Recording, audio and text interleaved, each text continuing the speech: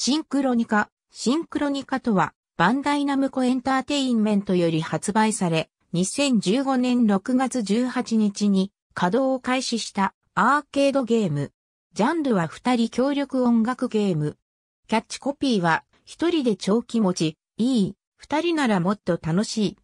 一筐体に二つの巨大なタッチパネルが並ぶように配置されており、プレイヤー一人、または二人からのプレイが可能。タイトルが示すように、シンクロをゲームのテーマとして掲げており、協力プレイによるプレイヤー同士の、あるいは楽曲と譜面とのシンクロ性を追求したゲームデザインがなされている。そのため、本ゲームにおける二人プレイは対戦要素よりも相互協力プレイを前面に押し出した内容となっている。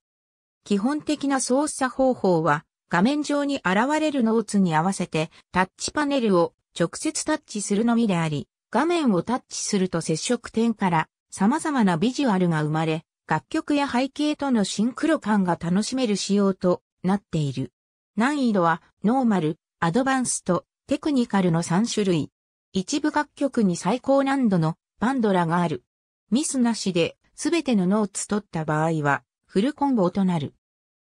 IC カード、バナパスポート及び相互利用が可能なエメに対応しており、連動サイトにログインすることで、プレイヤー情報の保存ができる。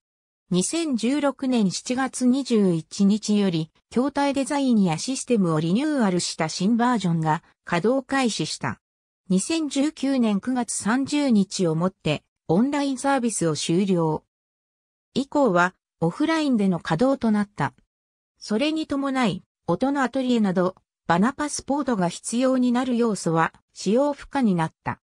ジャンルは大きく J-POP ボーカロイド曲、アニメゲーム、クラシックバラエティオリジナルの7つに分類されている。楽曲ごとに背景映像が用意されているが、基本的にアーティストのミュージックビデオやアニメ映像は用いられておらず、現行曲においては一部楽曲を除く大半の楽曲で開発チームが制作した独自の映像が採用されている。また、同社の開発する音楽ゲーム、太鼓の達人との楽曲相互収録の企画も実現している。二人協力の音楽ゲーム、シンクロニカ PV 公開。二人のシンクロ、音楽とのシンクロで味わう高揚感。ありがとうございます。